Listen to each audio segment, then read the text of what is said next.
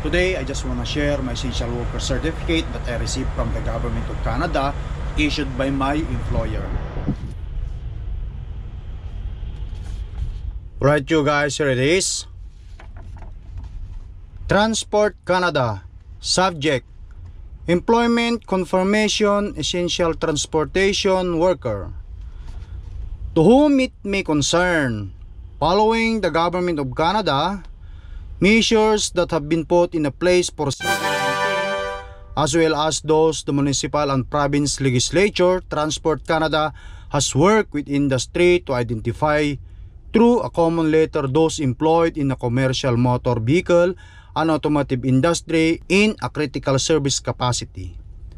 As set out the Government of Canada's guidance on essential service and function in Canada during and that's the link right there as you guys can see through this letter I, Rick Whiteman, confirm that Nestor Trinidad is employed in commercial motor vehicle and automotive industry in a critical service capacity. It is imperative that Nestor Trinidad has the freedom of movement both within and across province and territories and access to essential infrastructures including such things as restroom and rest stop facilities. This movement may also require travel across multiple municipal, regional and provincial boundaries in order to allow access between home and work, which could take place in a personal vehicle and not necessarily a commercial vehicle. While commercial vehicle driver are exempt from the 14 days quarantine required for businesses and purposes when off duty, they should abide by recommendation of local and national public health authorities including recommendation relating to social distancing. For more information, please refer to as you guys can see, that's the link right there. Should you require additional information, do not hesitate to contact Rig Whiteman, that's the number right there.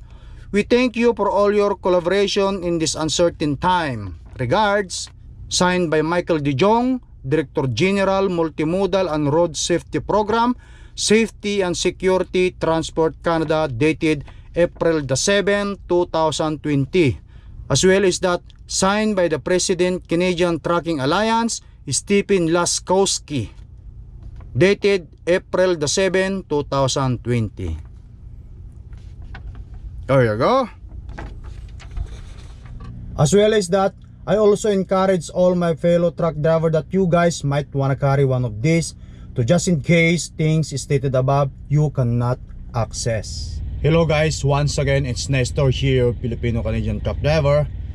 Being a truck driver, as you all guys know, we go to a different places to transport food to everybody, especially this challenging time. Leaving our family behind, wife, kids for almost 2 to 3 weeks before we get home. Truck driver, I think, deserve kindness. Am I right? You there, sir. Ma'am, what you think? But first thing first, I just wanna ask you a question. Are you kind? Of course you all guys do.